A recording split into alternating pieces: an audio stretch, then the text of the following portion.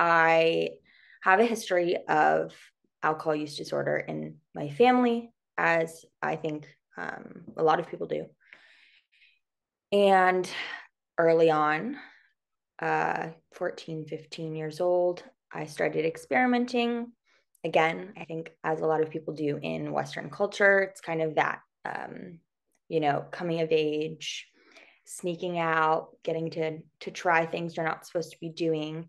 And for me, I knew very quickly that it was um, something I should definitely not be doing because I enjoyed it far too much. Um, and I think as I've learned from researching the book, and then as my research has continued, um, as everything has evolved, as um, the sober curious movement continues, as people start to drink less, just in general, um, drinking, you know, is kind of on its way out the door. Um, I have found that for people like myself, but maybe you as well, who have that predisposition, um, that genetic differentiator, um, alcohol does something different for us, right? It doesn't make us that tired, kind of, you know, relaxed, like it's exciting. And so that's how it made me feel. And I know I was very anxious and socially awkward um, and really uncomfortable with myself. Um, and I didn't feel like that when I drank. I felt like a totally different version of myself. Um, like I had that cloak on where um, n- nothing could really hurt me. I couldn't be anxious. I couldn't be upset. Um, well, obviously, later on in the evenings, um, emotions would skyrocket. But that led me into trouble, a lot of trouble. um, and then eventually um, finding treatment. Um, I was 22 when I went to rehab. And that kind of first experience was a, a little bit eye opening, I want to say. I still didn't think I had a problem. I didn't think that I was old enough. And I think that's something that a lot of people kind of have this idea like you have to be of a certain age to potentially have a problem, but anything that is an addictive substance can affect any age. Um, as it's physically dependent. And so I eventually did not stay sober. Then I got sober. Um, and at the time, there wasn't really anything available outside of traditional programming. So, and the treatment center that I went to um, took us to um, Alcoholics Anonymous meetings. And so I didn't, I knew from the beginning that wasn't really my home base. And what I mean by that for me personally was that um, I loved the community aspect. I think that's so important. I loved the support and I loved that I could be around other people who understood a lot of things about me and the way that I think and my past history that people in my everyday life, my parents, um, my friends, some of them at the time, all of them. Um, I didn't have anybody sober in my life. Um, they didn't get it um, why would continue to do things with consequences and repeat them.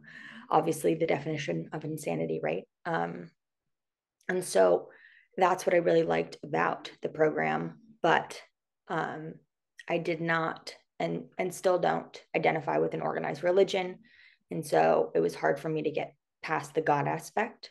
Also, as kind of like a recovering Catholic, I like to joke.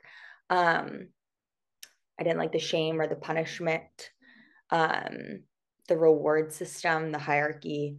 Um, but I went because I knew that I needed something. I needed a tool in order to stay um, away from alcohol, um, and for me, others and other substance as well. Um, but eventually, it just kind of stopped working. Um, and what I think I mean by that is I had gotten everything that I I could out of the traditional program, and but I didn't know what to do with it next. Um, I didn't want to leave because I was told, okay, well, if, if you leave, you're definitely going to go drink and you're going to go back to where you started, probably worse.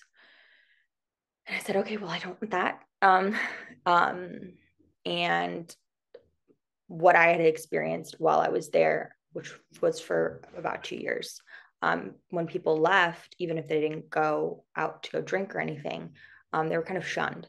And so I didn't want to be shunned and I didn't want to relapse quite so so I just kind of stayed um which didn't work obviously. Um and I was very very lucky. I had a very come to moment um with a friend arguing about the quote unquote disease of alcoholism. Um this person's father was an alcoholic and you know at the time that's how I identified. And he told me you know go look um, there's no science behind this, whatever. Go look, go find how this is a disease, come back, and I'll believe you. And so I went on this like little research hunt. I couldn't find anything um, because that was kind of always my fallback at the time. Was like, you know, I was sick, I was sick, I was sick. Um, and so there wasn't a lot of accountability. It was more of just that wasn't me at the time. Um, and although it wasn't, and although I do understand obviously when we're under the influence we do things that we normally wouldn't do um, it's not a disease in the same way that cancer is a disease right so i was introduced to a book called the biology of desire by Marc Lewis which literally the subtitle is why addiction is not a disease and it completely changed my thought process. And I'm thankful that I was open minded enough to be able to read this book and to not be closed off to the idea that maybe what I was doing wasn't going to be working and that I needed to look at things in a different light. And this book did that for me. And so I left AA. And that is why I originally created the Dry Club. Um, you know, I was, I guess at the time, 25 or 26.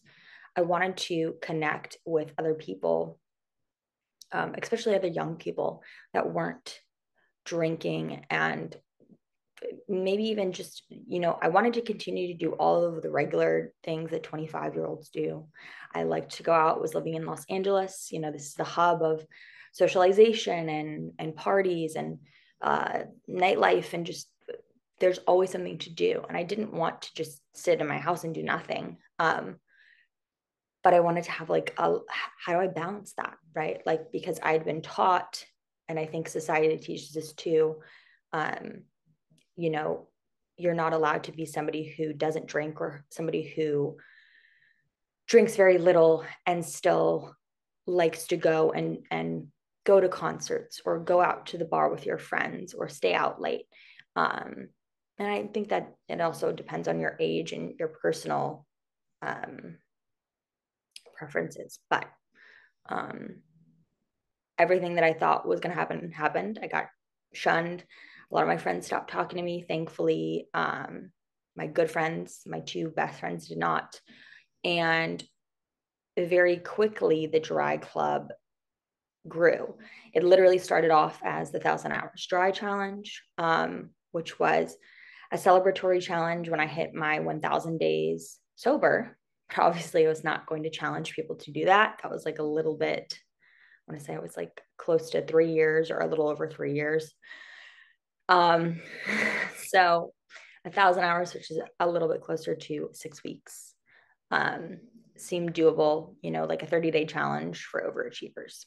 So it started out, it literally everything that I have now done started with a hashtag that I created on Instagram. Um, and it quickly caught on so much so that I had to create its own page, which is now the Thousand Hours Dry page.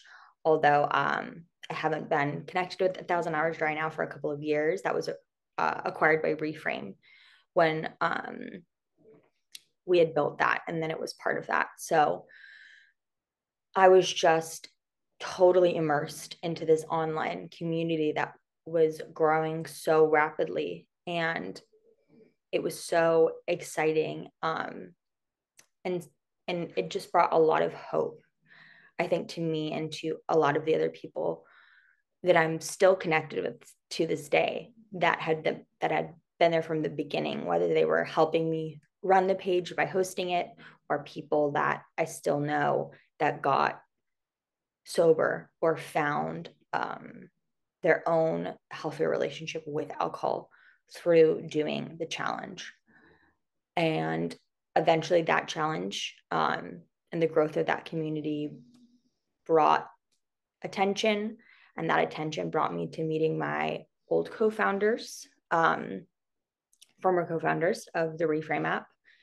And it was kind of very serendipitous as I had wanted to create an app at the time for what what what I was doing, which is basically just education in a digestible format, right? Like all the information is out there, but nobody wants to go read like a you know 100 page or 50 page peer reviewed essay online. And half the time you can't even access them unless you have um, you know a therapist number and things like that. So or your license number. So I just found a way, really through my own needs, and and found this kind of or created this watering hole. It's kind of the best way I think to describe it because I didn't want to replace anything else. I just wanted to create another thing. Um, and I think that's again a misconstrued um, opinion I've gotten in the past is like, well, if we're telling people to drink less, then we're not we're not telling people not to drink, and that's not true. I think we all have to figure out what's best for us on our own. But the best place to start, no matter where you end, is to start to just, you know, look at what is my relationship with alcohol? How does it serve me? How does it not serve me?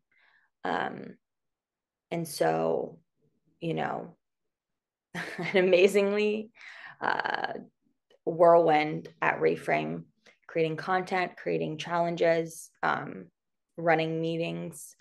Um, and then it it came to an end and i just knew it was my time to move on to something else and i had already been approached by watkins here um, to write a book. And in my mind, I had already had this thought um, of the word soberish. And the idea itself was not, it was kind of meant to be ironic. Like, soberish is not a label. Um, although now people tend to use the word as uh, having a specific meaning. But m- my definition of it was not really meant to be anything. It was just meant to say, like, for those of us that don't want to be put into a box. And so I was at, um, and I know I talk about this in the book too, but at the time that I was writing the book, I was actually in a really very not, I was just not in a good place in my life. Um, I just gotten separated and I had moved back to my hometown and that is when I left Reframe and I had to really, really start over, which in a way was perfect. It was the perfect time to write the book, right? Um, because I didn't have anything else to do, one.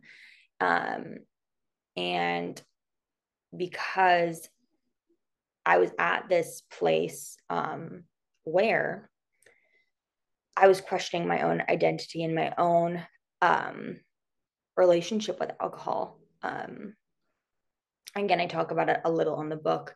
Um, I had been abstinent for about four years, and then I kind of took myself out of that label and said, you know what, um, I'll kind of allot myself. If I feel like having a drink once in a while, I'll do it.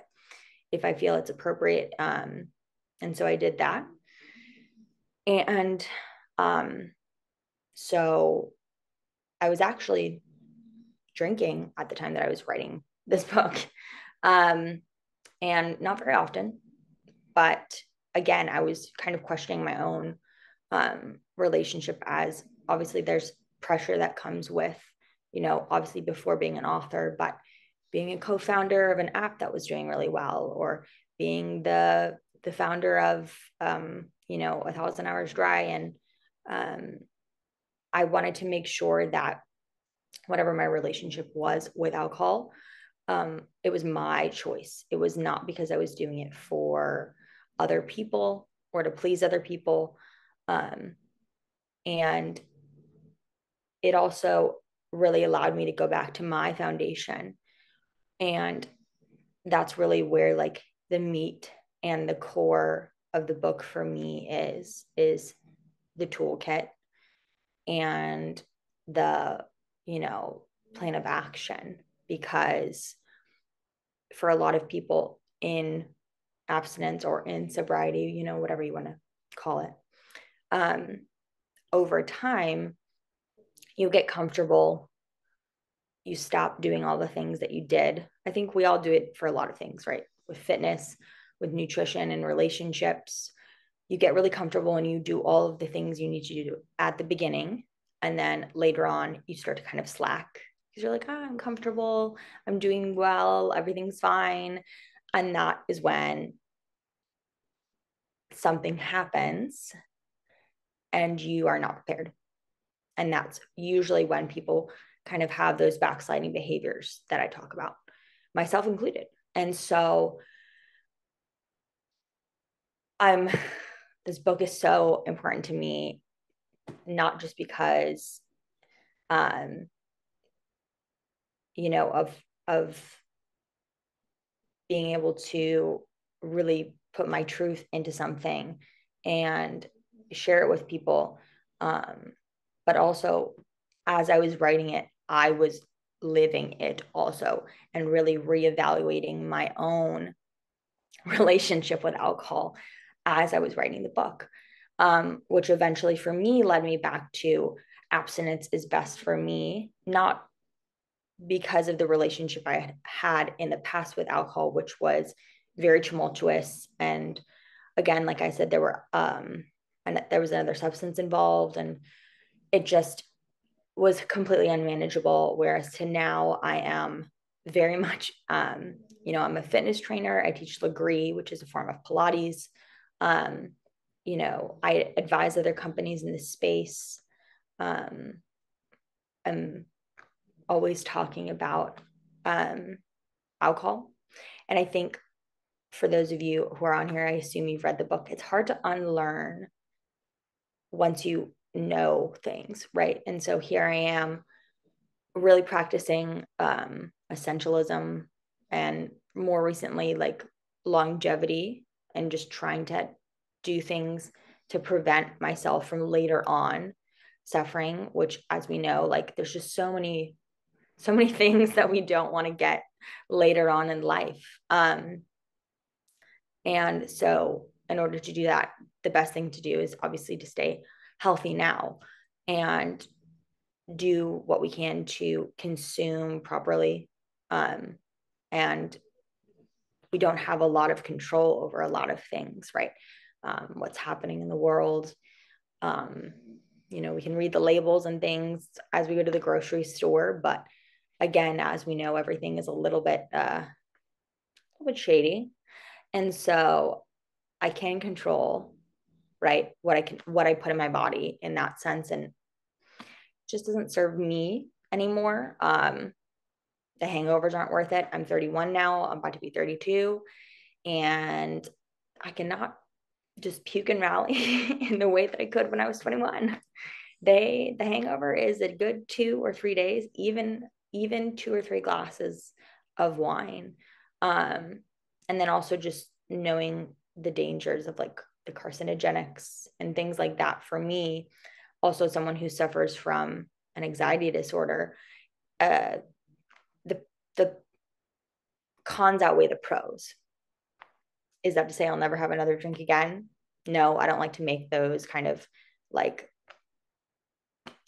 intense uh, you know, promises or whatever. I, I think when we tell ourselves we're going to do something like that, it's also like a lot of pressure. I just focus on what does today look like? What does my week look like? How am I going to use the tools in my toolkit, like the ones in the book? I use most of them myself. Either I have used, I've used all of them. Currently, you know, as we evolve, as we age, as our environment changes, um, as what we're going through changes, um, the tools that we use obviously change. You know, you can't use one tool for everything. And so, like, I'll joke with people like fitness right now, and has always been as a former athlete, like a major, major tool for me. Like, I totally believe movement is medicine. Um, I do my best to practice in the intuitive movement. It is difficult. Um, as someone who tends to overexercise and also as somebody who had struggled with um, you know past eating disorders and just being a woman in a society that uh, has a lot of high expectations for the way that we look um, when it's none of anyone else's business um, so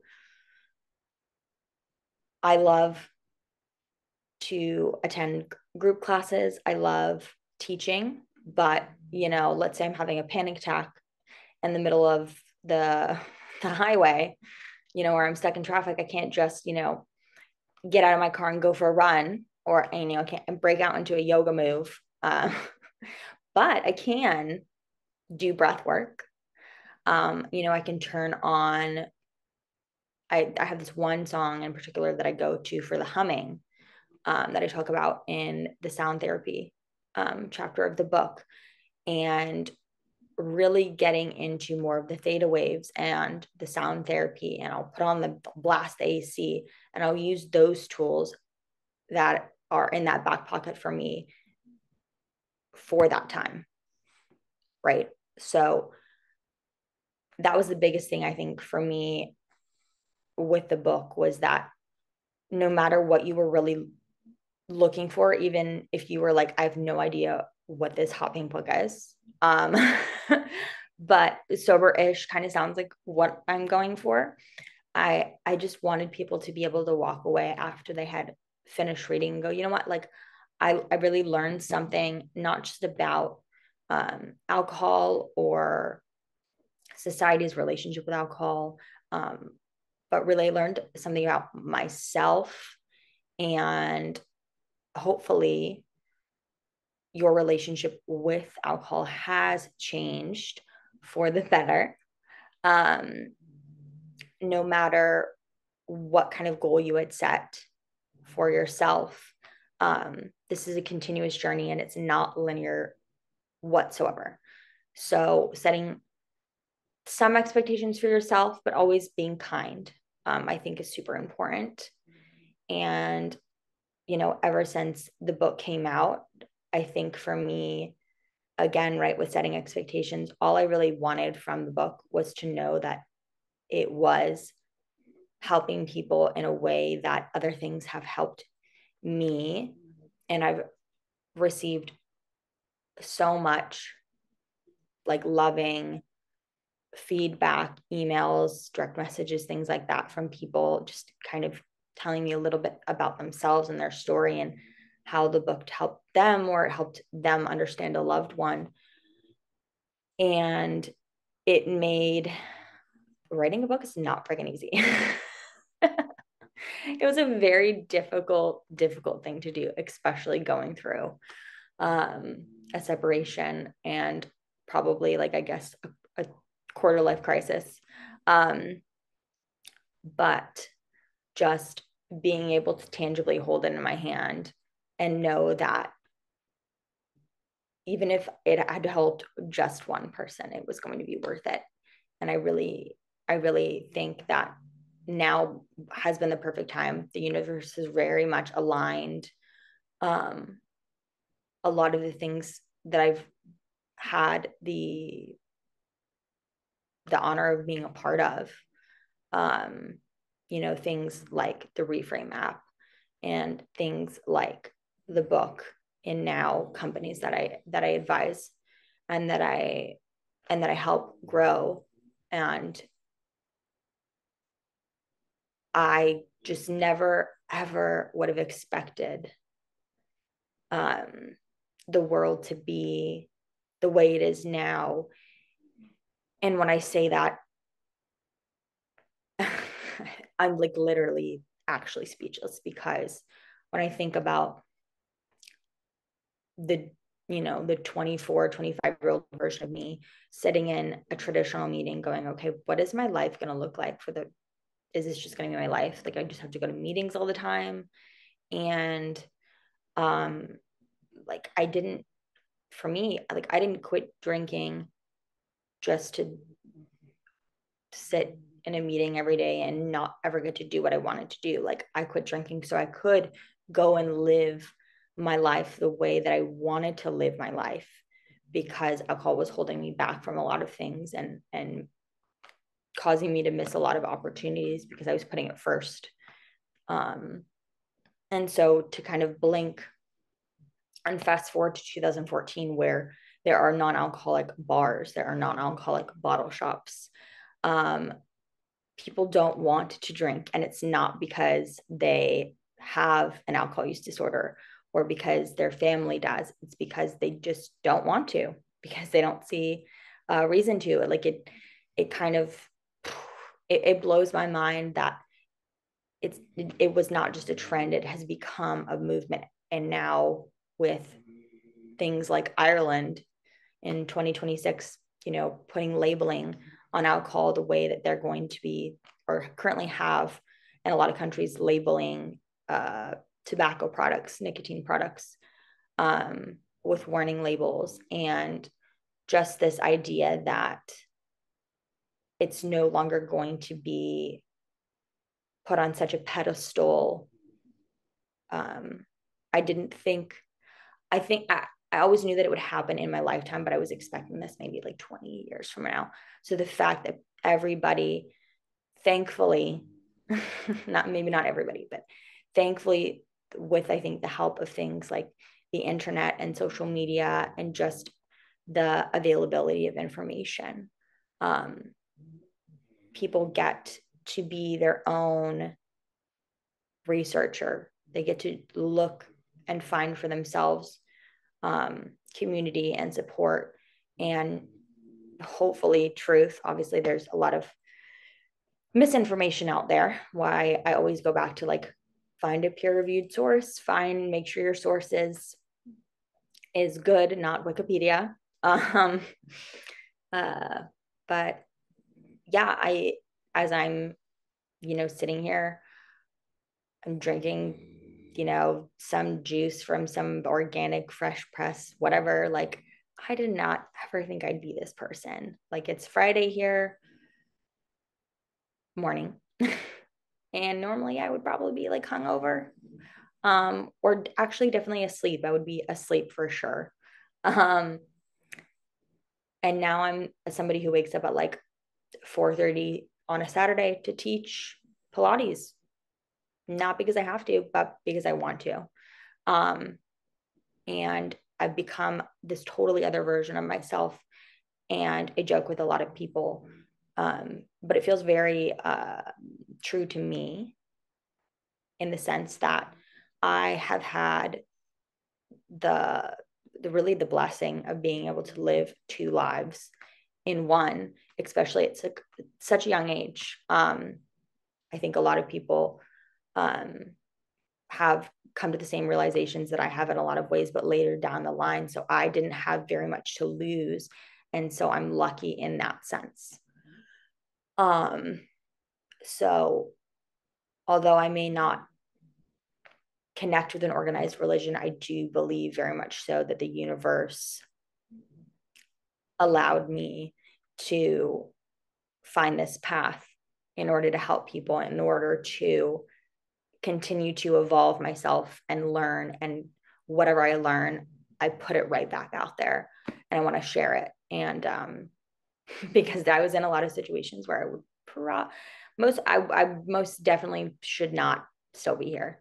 Um, but I'm really excited to talk with you guys um, about it and answer any questions you guys have, or just hear your own stories and you know what kind of brought you to the book or brought you to the panel, or if you have any um, questions out, outside of the book or pertaining to the book, like just excited to have this conversation with you guys. And um, yeah, thank you for coming.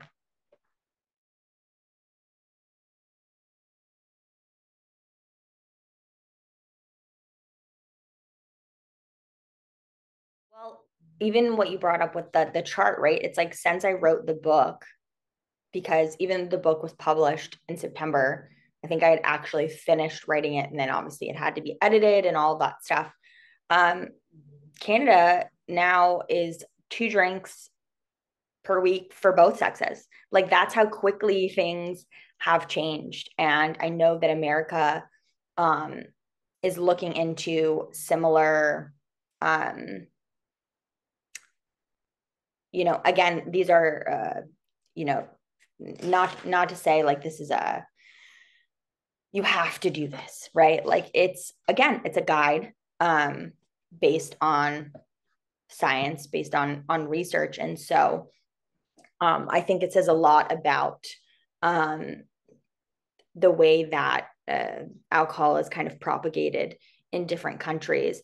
Um, for example, I think in Europe, obviously the drinking ages is is, younger. It's even a lot younger in a lot of countries. And so, you know, things like DUIs or, um, you know, I, I don't want to get into like gruesome details of other things, but there's lower levels of alcohol related incidences or deaths because and I'm not not saying it's a good thing to introduce alcohol at 14, but at the same time, when you're saying, hey, you're sitting your your kid down and going, hey, this is what this is, this is what this does, this is why we drink XYZ or whatever. And now that's that's kind of not even relevant either because you know, like my parents had to read this book and they learned so much from it because both of my parents are, you know, what kind of uh people call like normies, right? So people I still love to use the word use the word. I think it's fun. Um, a normie is just somebody who has never had an alcohol use disorder or a substance abuse disorder. Um, and that was kind of the word that they used in traditional programs to describe, which again, you know, was this separation of them and us, right?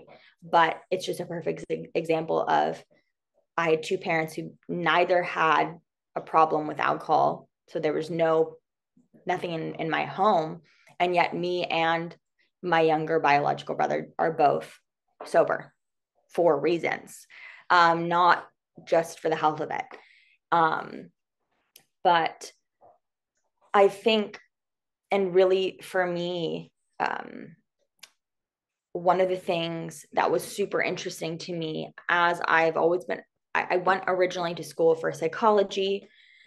And then as, you know, my, uh, uh, attention span went away from academics. I switched over to um, other uh, another major that did not, you know, did not require as much. And so I got away from that. But when I stopped drinking and I went back to school, um, I was looking really heavily into consumer psychology. Um, and for anybody unfamiliar with that specific um, niche, it's really consumer psychology or psychologists are the ones that work for companies. Um, they they don't have to, but as an example, um, they use it in uh, one of my favorite books about habit, which is um, The Power of Habit by Charles Duhigg. And he talks about consumer psychology. And the consumer psychologist is the person who works for Target. And they say, this needs to be placed on this shelf at this eye line for this specific reason. These things need to be on. And this was a big one for me. And I go, oh my gosh. And like it seems obvious and it's not. At least here in America, when you go, there was a Target that I used to go to, which is like, you can go and get really anything you need kind of a store. And then they also have a pharmacy that I would go to in it. And so while I was waiting in line in the pharmacy, I'm, of course, you know, you're looking at your phone, you're kind of looking around, and I'm looking, and they have all on the ends of all of the shelves, which is where the lines are, the sale racks.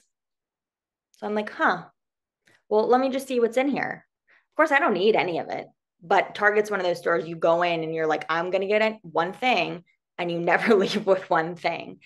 And that was just one example of consumer psychology. You think, oh, this is just a sale rack. It's just put here because there's nowhere else to put it. No, it's specifically put there because they know people are going to be standing in that area, kind of not really having anything to do. And they're going to look, and there's just something about sale that piques our interest, especially when it's like 30% or more. Um, and you end up buying more it's that's that's what you do it's so in depth and so analytical and so i was so interested in that and how they how they how you bring psychology and the behavior and human behavior together with analytics to basically make people buy things and it's propaganda like literally i have this book called propaganda it was written in the 30s oh gosh uh, the 1930s. I feel like when I say 30s now, it's like it's almost like 2030. Oh. uh, but um, it was written really by um, the man who kind of created the word propaganda, which now has this negative connotation to it. But originally, to propagate just meant to to push an idea. It didn't have to be negative obviously it was used like World War One, World War Two in a negative way. And so now when people think propaganda, they think of this really negative connotation against it. And so um, to bring it back to where we were, really what big alcohol and there's big everything, right? Big food, big tobacco, big pharma, um, tr- trillion, multi trillion, multi billion dollar industries um, that are based on our consumption. Period. Like they run because we purchase what they buy. And how do you get someone to purchase something you want? You propagate them. You say, look at how interesting this is.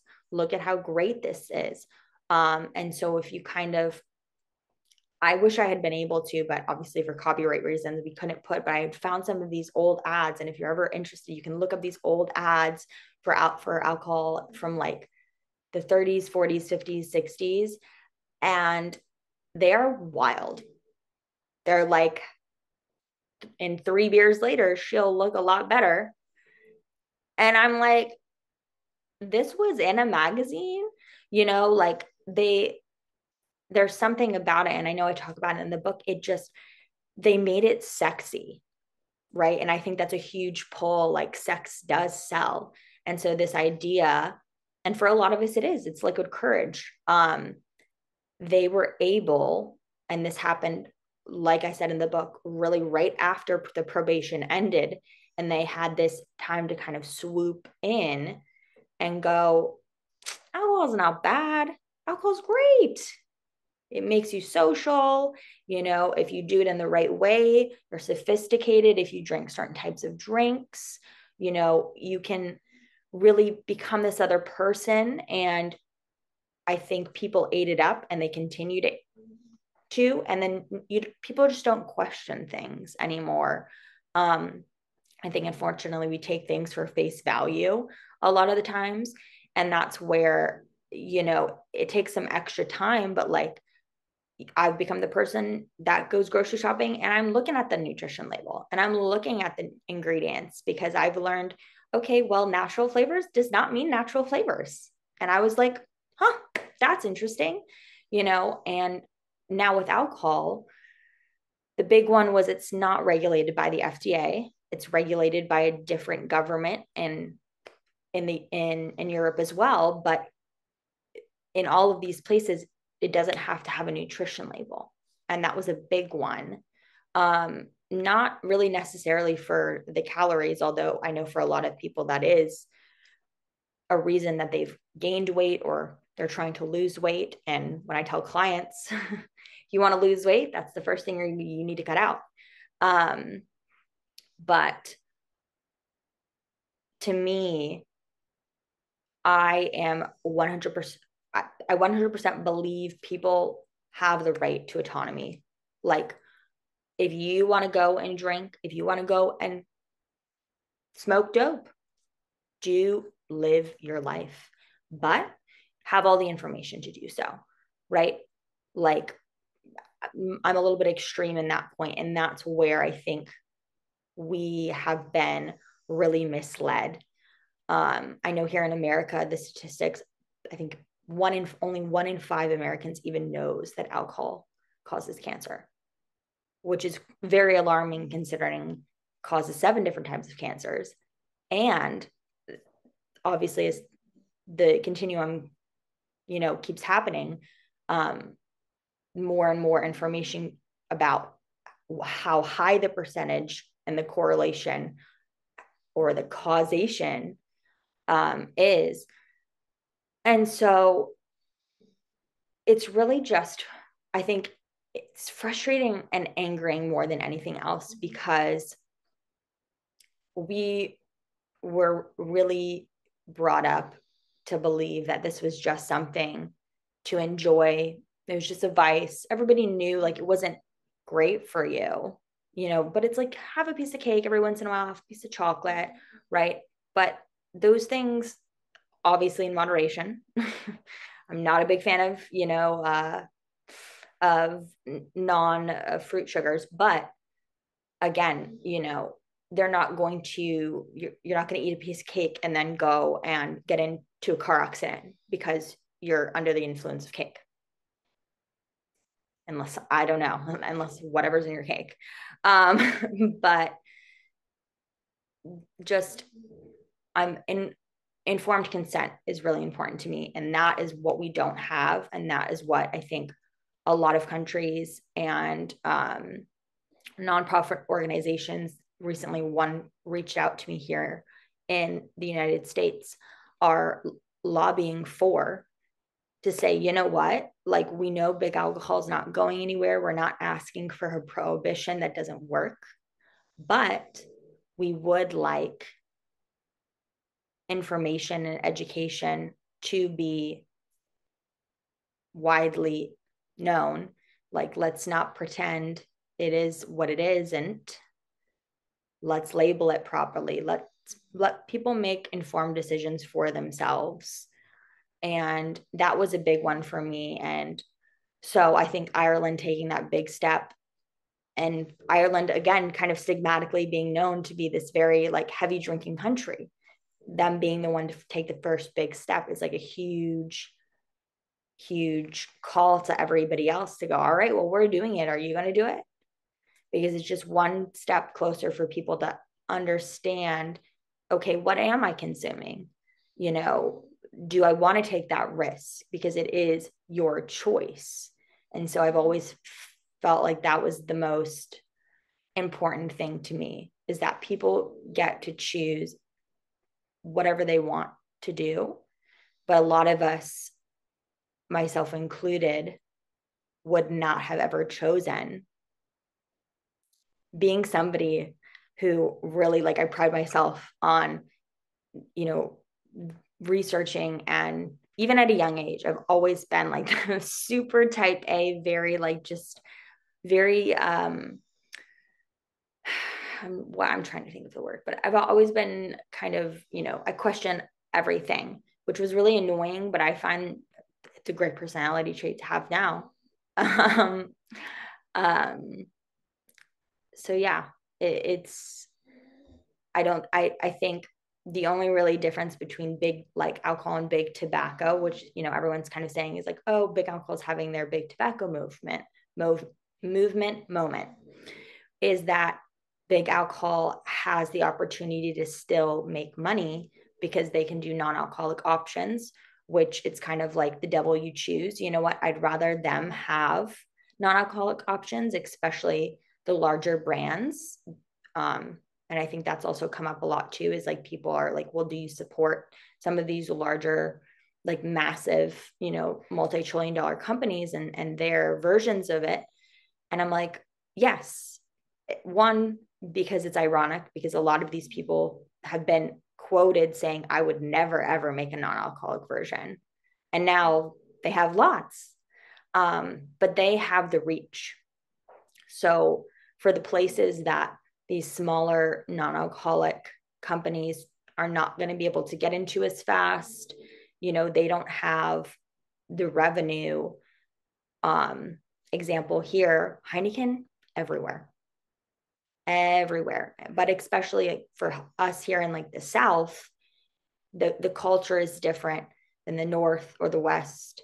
Um that the drinking culture is heavier um there's still a lot more older traditional beliefs than the rest of the country and so kind of infiltrating there the sober curious movement and those kinds of things is a little bit harder so I'm totally supportive of these companies going and being able to get into their grocery stores and their restaurants and things like that and being available to people. And also because people recognize these big names. And so you're much more likely to go, oh, well, you know, a, Budweiser or a Guinness. I know what that is. I'll try it out. I literally saw one when I was walking my dog. There was like a six pack of the recycling of a zero proof Heineken. And I was like, that's so cool. Only I would think trash is cool. Um, but that that's normal now. Um, but people who are not familiar in the space, who don't like live it, eat it, breathe it like I do, mm-hmm. they're gonna go for that over maybe like an athletic brewing company or some of these other brands that are amazing. And I'm just so excited with what they're doing. But at the same time you know what? Let them pave the way. We can deal with that later i'll deal with them later once you know things have been normalized and um, people do have the options everywhere because it's still not totally available everywhere we still have a lot of work to do um, but we're getting there and it's happening a lot faster than i ever thought it would and so I'm excited to be kind of a part of it on all fronts. That's why I, I currently do what I do, which is I advise different brands still within the niche. So I I'm advising currently a different health tech company that helps people drink less, a non-alcoholic online um, bottle shop, soon to be in stores, and then um, a like marketing and PR agency that specifically only works with like non-alcoholic related brands. So to me, being able to give my knowledge to these growing brands, these startups, because I've been there and I go, this works, this doesn't work. This is what the people want. Let's move this way. Let's move quick because you're needed. Um, it's been super gratifying. Um, and I'm excited to continue to be able to be part of no, just normalizing drinking less. Like that's really what it is. Is like normalizing not having to get asked like, "Oh, you're not drinking," or "Hey, normally you're like bumping shots with us and you're had one one beer. Why?" Like, well, it's not really any, anybody's business, and nobody's asking anybody why they're not smoking cigarettes. And so I kind of would like to see a world where it's just like that. It it just has become a vice, which that's what it is. It's not self-care. um, as much as we'd like to think it is. Um, and again, just going back to like it's not about shaming people, it's not about um judgment. You know, we all have things that we it's it's it's hard to control sometimes or you know you you have that really bad day and you just say you know what? I'm i need a glass of wine or or whatever. And as long as that's not going to cause you to go and end up in a jail cell. And you have that relationship with alcohol like that's that's okay.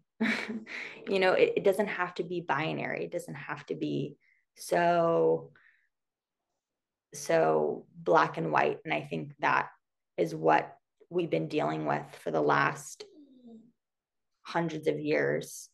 And now it's finally recognized that there's a major gray area actually much larger than the black or white side on things. And so um, i'm i'm happy to be part of that movement to just continue to spread the word um, and hopefully you know allow people to know that they're not alone in struggling even if they're not wherever you are kind of on like the spectrum of maybe you're you don't like how much you have been consuming and you want to cut back.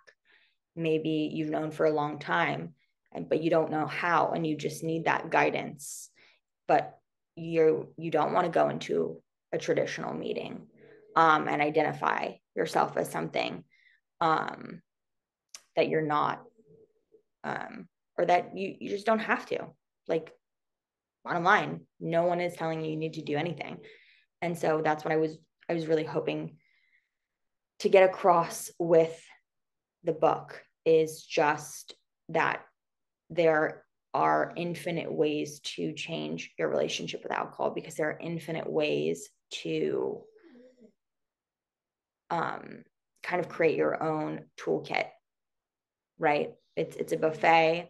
What works for me might not work for you vice versa. But there's so many things out there that we have to choose from. You just have to be willing to take the time um, and the effort to go and look and find those things and and trial and error.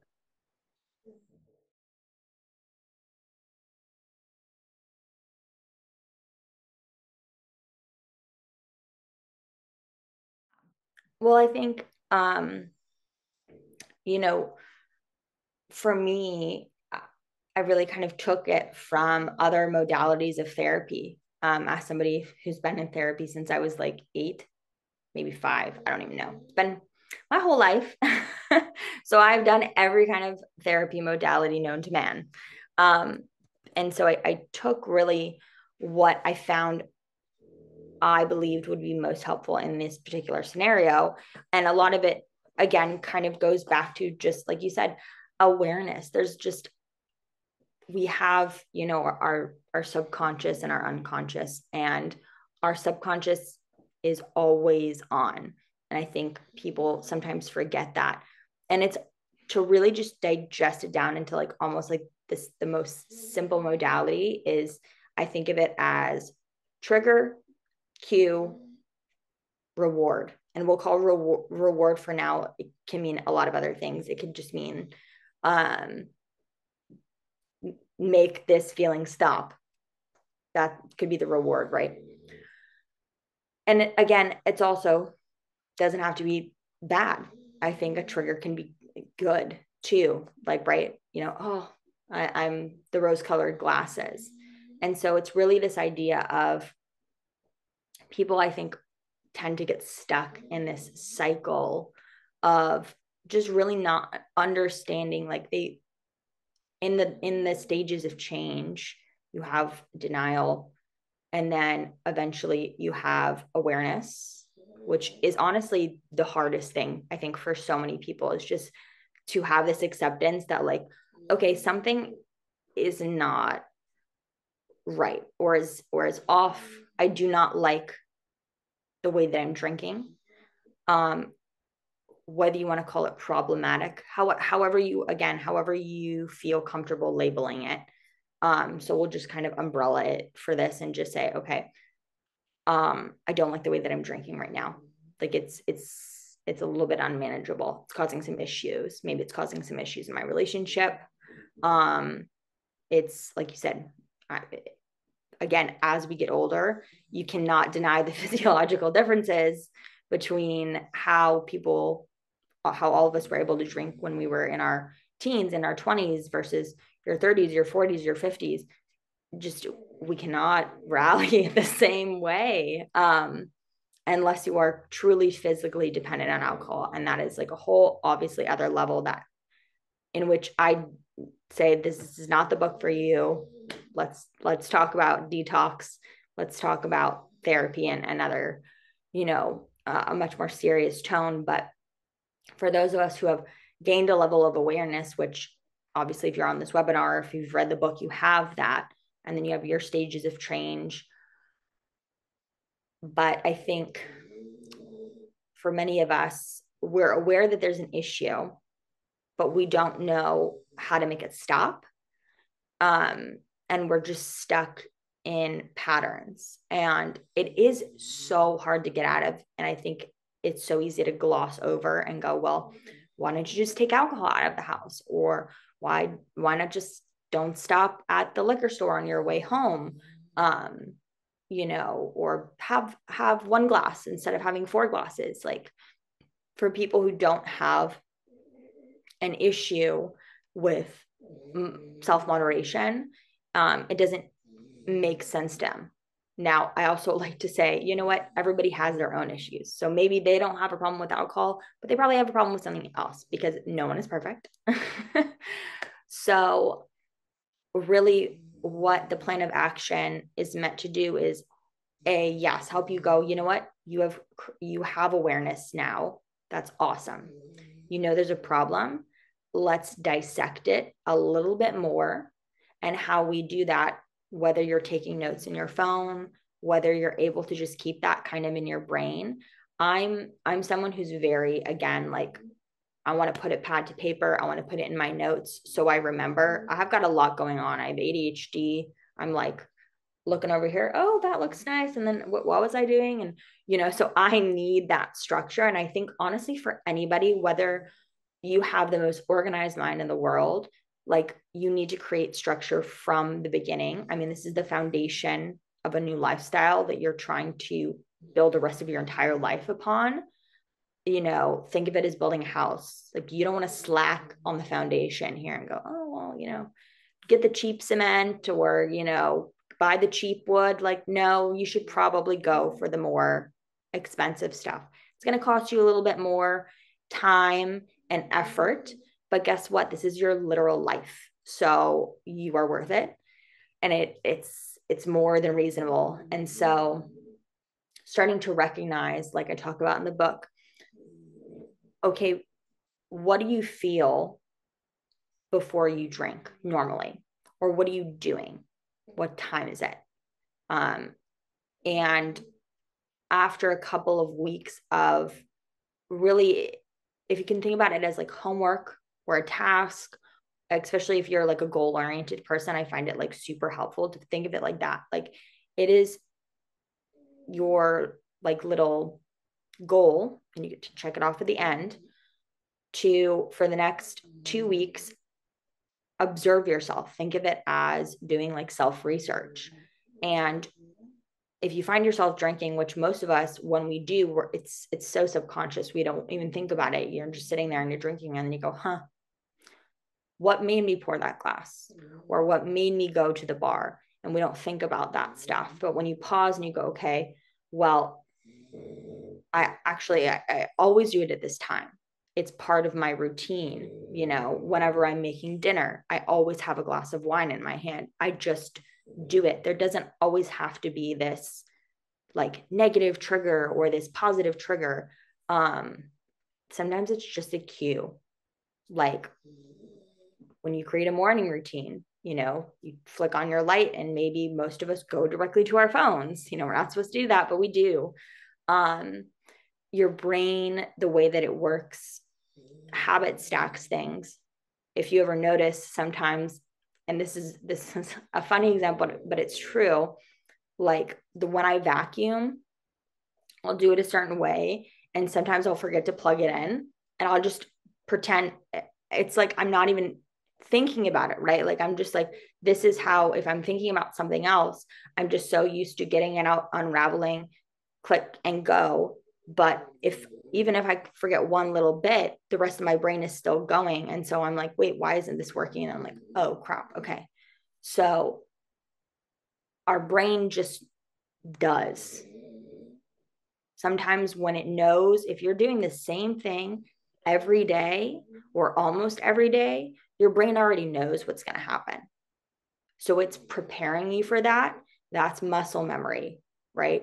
That's just general memory and and how you get ready for things, how you mentally prepare for things and physically and emotionally. And so starting to pre kind of um like I said, when what I wrote in the book, and again, you can do it in any way, but what I what I would personally recommend is going on your phone in maybe the notes section, or obviously there's there's so many cool apps nowadays, Notion, things like that, where you write down like, okay, every time I that I drink, I'm gonna write down like what time it is. And this is something you can do afterwards, right? Like I think again, when we're in the moment, we're not like, oh crap, I need to do my little soberish um, you know, activity, but it's something you can reflect on later in the evening or maybe even the next morning when you go, okay, so I'm looking back and it's been a week and I have a couple of glasses wine every night around six or seven o'clock. It's after I make dinner. It's after I have already, you know, I maybe I, I finished making food or I finished helped cleaning up and got the kids washed and whatever. You know, the day is done. I'm tired. I just had a long work day, or I just spent the whole day, you know, being the stay at home mom or being the stay at home dad if you have kids, um, whatever you're doing, you're at the end of the day and you're done. you're like, I just want to relax. I want to check out. And for a lot of us, that means going for a drink because obviously physiologically it does it helps you relax it helps you slow down but again the idea is for me and i'm kind of a little go-to quote is you know what dulls today's edge sharpens tomorrow's which also puts into the cycle you're a little bit more irritated in the morning the next day which only adds to why you're doing it at the end of the day and so you go, okay, well, now I'm noticing patterns in my behavior. What if I try something else in place of? Like I know that I'm tired. I know that I'm I'm looking for something to help make me de-stress. What else is there out there? And that's where you go to the book for the toolkit or again, there's so many other things out there um, maybe you already have hobbies that you like to do that you can go, you know what, instead of pouring that glass, I'm going to go work on my art or I'm going to go and read this book or I'm going to go take a bath, you know, or go on a run. Um, but we just don't think about that because we're so used to doing the same thing over and over and over. Um, and that works in, like I said, driving by and picking up drinks going and driving by and stopping by the bar or always having drinks with certain coworkers after you know after a long work week mm-hmm. especially if you work in a toxic work environment you don't love your boss or or your coworkers or maybe you're like me I work 95% from home it's kind of boring sometimes and boredom is honestly a huge trigger for a lot of people I'm not doing anything. What, okay, I've already worked out. I've already done my laundry. What am I going to do? I'm going to sit around all day. Well, if I'm already going to do that, maybe I'll, okay, well, it's two o'clock. It's close enough to five. I'll, you know, make myself a little cocktail. Um, and I think it all starts out innocent for a lot of us, but then COVID hit and I don't know if I'm allowed to swear, but we were fucked. you know like i think it really it really showed our fears and showed our anxieties and showed our our vulnerabilities as individuals. And it also showed our government's essential a liquor store is not essential. Like let's be real here. Um so you know going back to that propaganda and, and big alcohol and all things like that. But once you start to realize okay when I talk to this person, maybe there's that certain coworker or that that your boss that is just they're so infuriating. You know, I've had jobs where I am just, and you know it, you're like, this is an incompetent person. I don't like, you know, I don't like to judge and I, I try and always be empathetic. And I know other people are going through other things, but sometimes I say, you know what, we all have to leave it at the door when we when we go into our workspace or whatever it is and you just get so frustrated or your partner or you know and sometimes it's our environment sometimes it's just i think the hard thing for i think one of the hardest things for people is when it has to do with a person in their life who you can't just like take it out. Right? Like okay your boss is very triggering for you and they like to kind of just bully you a lot. And by the end of the day, you're just so kind of beaten down and you're like, F it. You get that F it mindset and then you go for the drink. Um, it, it'd be nice to get a new boss, but that's not to say you can always look for another job. You know, you can do those things, but um, that's also where you have to learn the coping mechanisms to deal with someone like that so that when they bother you it's not so it, instead of going to a level nine you're heading to a level six and then eventually a three and recognizing you're letting it go in one ear and out the other and going you know what? I'm not going to let this person's whatever is going on with them their negativity their intense need to clearly because we all know when somebody is bullying you or being negative to you, it's a reflection of what's going on with them. It's not a reflection of you. And to have that self awareness, it's hard. You have to work on it. You really, really do. And it takes time. It's not something you're going to learn in a week or a couple of weeks.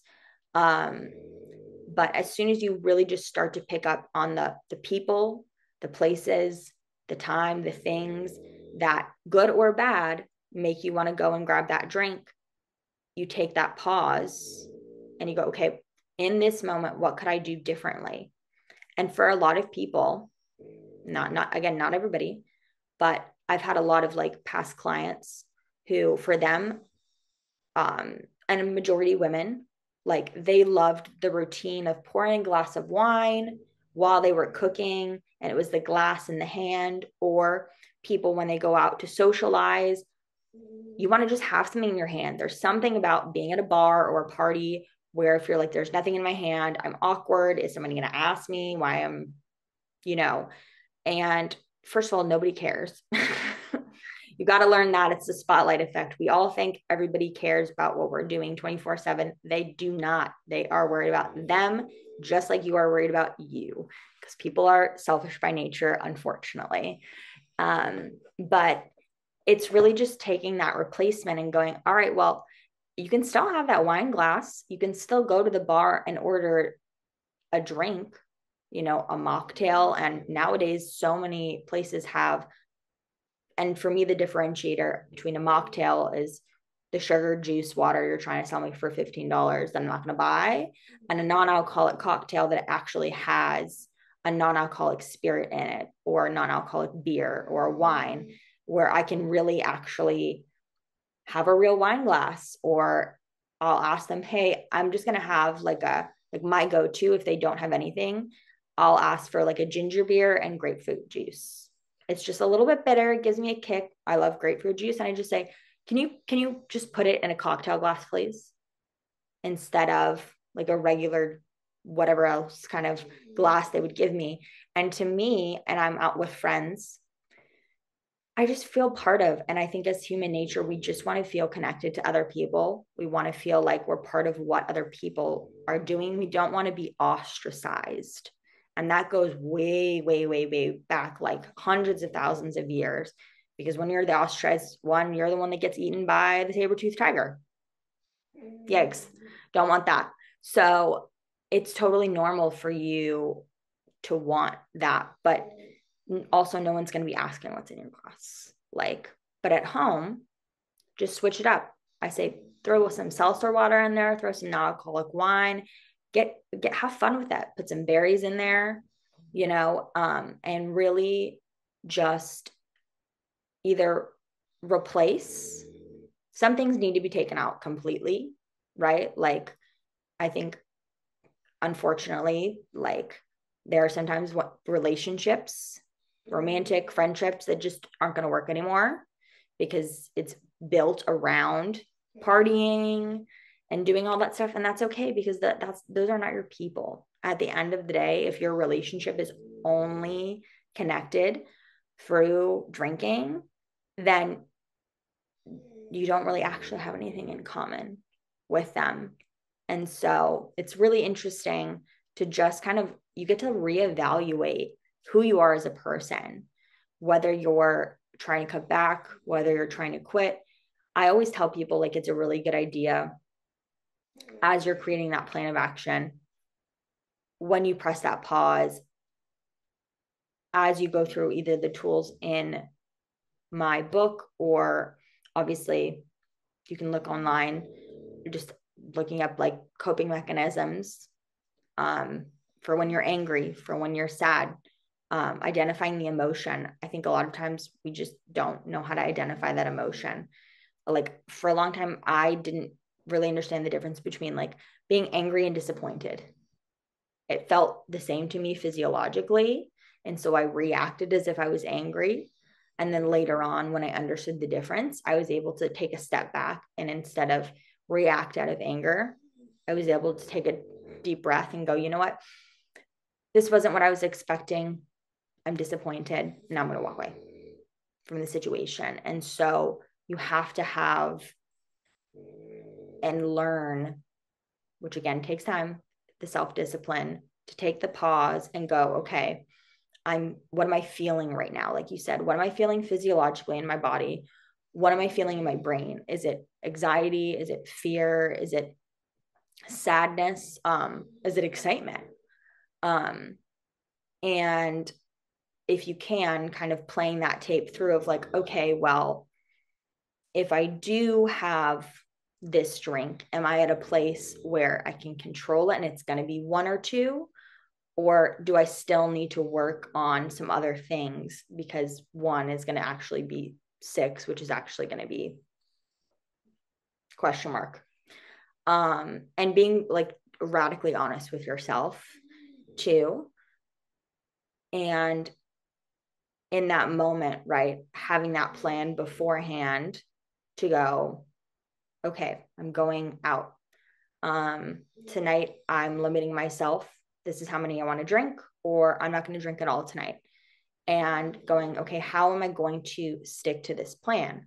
Well, think about it ahead of time. I always use the sports analogies. I have it in the book. I tell people all the time like, you don't go into a game for me, like as a former athlete, like I'm not going to go on the pitch, not warming up, having no idea what there's no game plan. Hey guys, we're just going to wing it. Let's see what happens. You're going to call out something. I don't know what that means, but let's just let's hope. But that's that's dumb.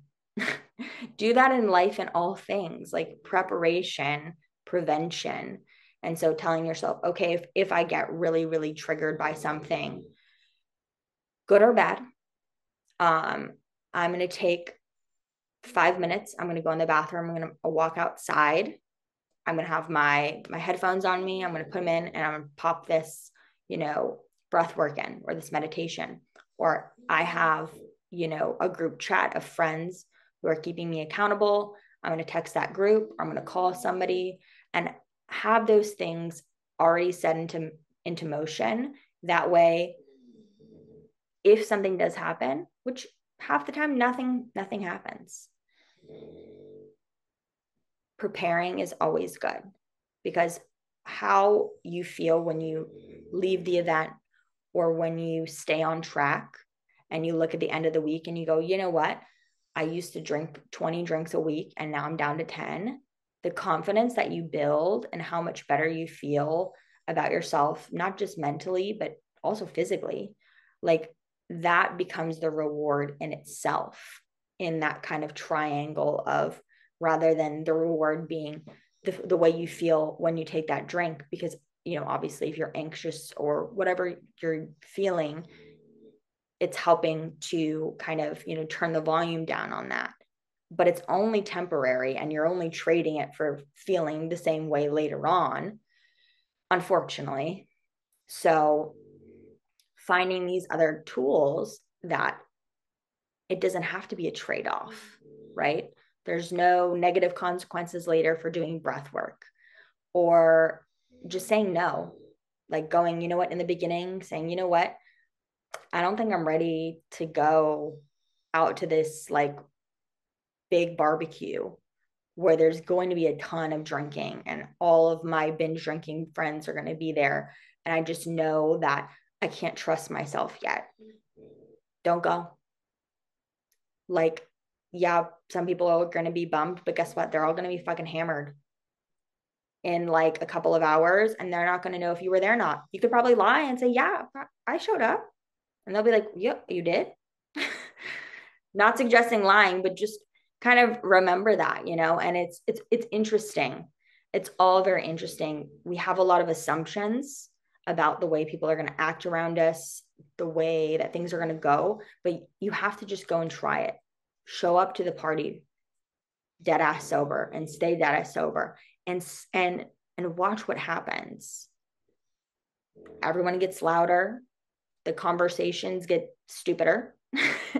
And you're like all right i'm going to leave. Like go go to places learn more about yourself. Like i don't i don't know if i ne- necessarily talked about this in the book but it is something i would recommend is like no matter what your end goal is taking like a 30 day as long as you're obviously disclaimer as long as you're not alcohol dependent meaning you get withdrawal symptoms if you don't drink take like a 30 day period off. Like this is not in any means saying like you have to stay abstinent but it's a great way to lower your tolerance if you're drinking a lot and you're like okay i need to just it takes me three drinks to get the same feeling as one.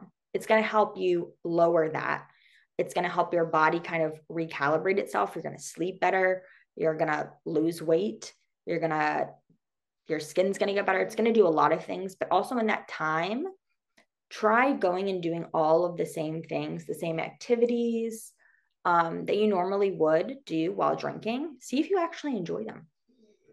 And I think it tells you a lot about yourself and your lifestyle and what you actually like to do, who you actually are, and what is you versus what is drinking or under the influence you. And then when that 30 days is over, kind of reassess okay, well, I did learn a lot about myself. And you know what? I don't actually like enjoying, or I, I don't love karaoke. I'm actually terrible at it. And I'd rather be at home watching, binging Love Island, you know? Um, and that's okay. And, and there's so many ways to do it. But I think it's just, more important than anything, understanding you're not alone. There's so, so many people who are questioning their relationship with alcohol now more than ever. Um, there's no judgment from so many people, especially the online communities, I would say are, are so, it's so rad.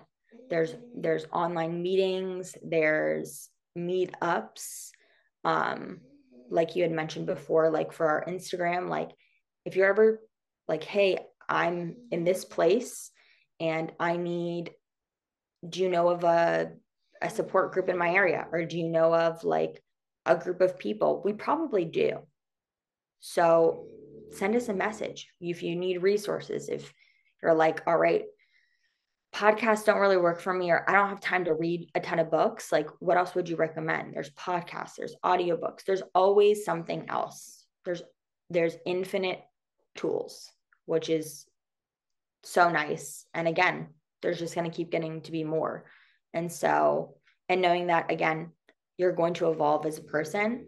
And so what you're using now maybe in a year or even in 6 months might be different and that's okay because you should be evolving as a person and and changing as you grow as you learn more as you learn more about yourself and so it's all really exciting but i think having that plan of action just like in sports having like having that visualization going in already being warmed up, already having a game plan. So when you walk on the pitch, you're game ready. That's really kind of the idea behind it. And I'm I'm very thankful because all of that to me before I even really got into visualization or or mindfulness and the things that I practice now, I had learned in high school from my lacrosse coach. She practiced visualization with us, and I, I, I talk about it in the book, but she would literally have us sit in the locker room and lay down on the ground in our positions, close our eyes, and she would go over for like 10 minutes. All right, the ball's here. And you pass it to this person, and then it's interfered with. And then you and go. And so you get in your mind, you already picture what's happening. So I'm already 10 minutes ahead of the other team because I've already been on the pitch in my mind for 10 minutes. I'm ready. And you can do that visualization with anything before before you go out, before you go to work, before you have an uncomfortable conversation. Close your eyes and go through it in your mind. Go through the different scenarios so you are prepared. And I think that's just in general in life like such a good thing to do. Never walk in blindfolded. You can always have a, a way to be ready. And it it makes such a night and day difference because you're not caught off guard. And again, maybe you have a slip. Sometimes it happens, right? And you, you're in that position and you're like, man, I didn't use my tool, or, you know, I should have done this instead. That's a learning moment. You go, you know what? Next time you know, take an extra 10 minutes before you go out and really, really think about okay, if I'm asked for that extra shot and I'm feeling like this, or, you know, if the peer pressure comes, or what if so and so shows up and I'm feeling like really anxious, like, know thyself. There's always an option to leave, there's always an option to say no. And that doesn't make you a weaker person or or anything like that. And I think there's just a misconception. Like, don't worry about what anybody else is thinking worry about you. And for me, especially in the beginning of my journey, I everything that I did, I reminded myself, even if I don't like what I'm doing, or it's hard, or it's excuse you. Sorry, my dog. Um,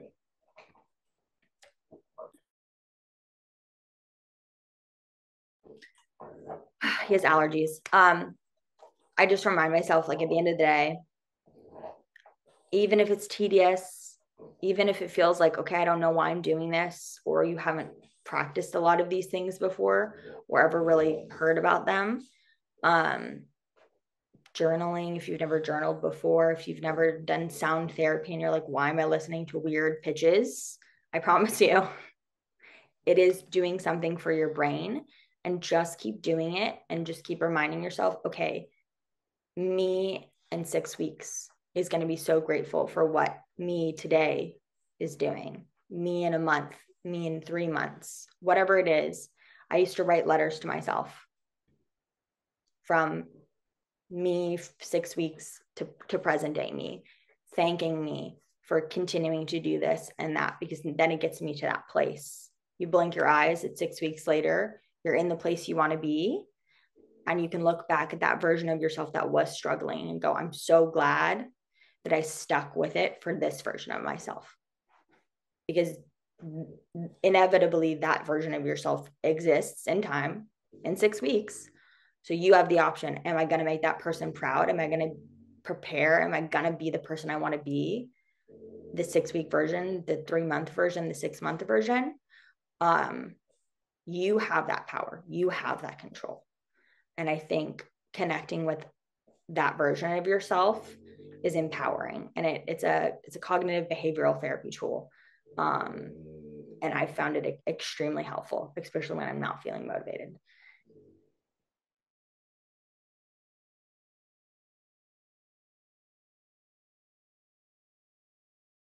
And and thank you for having me. And i and i hope that you know uh, again join soberish on instagram myself personally, my direct messages are always open. My email's always open. Um, you know, uh, reach out. you guys.